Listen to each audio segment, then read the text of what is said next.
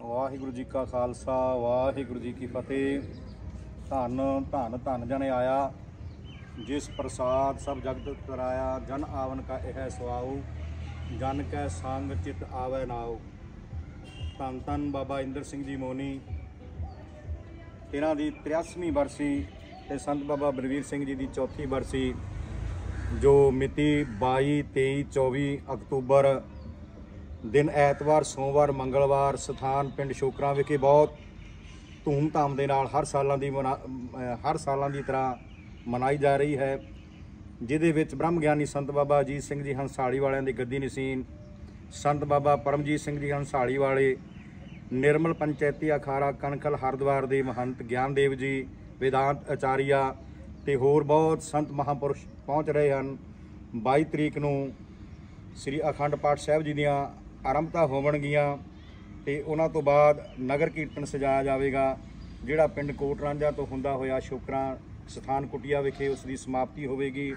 ਉਸ ਤੋਂ ਬਾਅਦ ਤੇ- 23 ਤਰੀਕ ਨੂੰ ਸ਼ਾਮ ਦੇ ਸ਼ਾਮ ਨੂੰ ਕਥਾ ਕੀਰਤਨ ਵਿਚਾਰਾ ਹੋਣਗੀਆਂ, ਜਿਹਦੇ ਵਿੱਚ ਆਏ ਹੋਏ ਰਾਗੀ ਢਾਡੀ ਆਪ ਜੀ ਦੇ ਨਾਲ ਕਵਿਸ਼ਰੀ ਜਥੇ ਆਪ ਜੀ ਦੇ ਨਾਲ ਗੁਰਮਤ ਦੀਆਂ ਵਿਚਾਰਾਂ ਦੀ ਸਾਂਝ ਪਾਉਣਗੇ ਔਰ 24 ਤਰੀਕ ਨੂੰ ਦਿਨ ਮੰਗਲਵਾਰ ਨੂੰ ਫਿਰ ਅਖੰਡ ਪਾਠ ਸਾਹਿਬ ਜੀ ਦੇ ਭੋਗ ਪਾਏ ਜਾਣਗੇ। ਉਸ ਤੋਂ ਉਪਰੰਤ ਸੰਤ ਮਹਾਂਪੁਰਖ ਸੰਗਤਾਂ ਨੂੰ ਗੁਰ ਸ਼ਬਦ ਦੇ ਨਾਲ ਜੋੜਨਗੇ।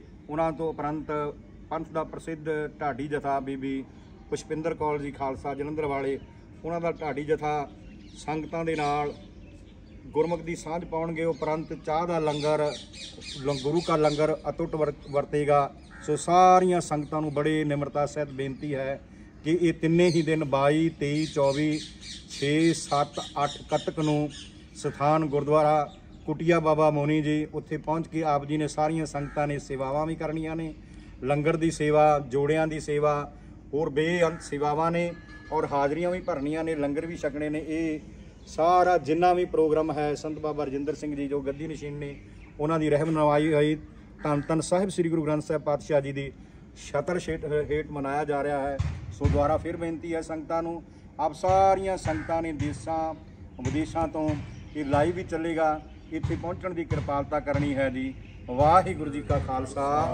ਵਾਹਿਗੁਰੂ ਜੀ ਕੀ ਫਤਿਹ। ਭਲੇ ਸੋ ਨਿਹਾਲ।